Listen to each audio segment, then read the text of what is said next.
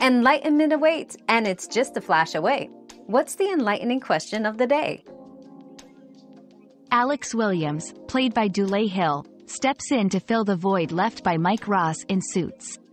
His arrival brings a new dynamic to the team, offering his expertise and contributing to the firm's success. Alex becomes a key player, navigating complex cases and the firm's internal politics with skill and determination. Another mystery solved, but many more await. Keep up with our daily discoveries by subscribing and turning on notifications.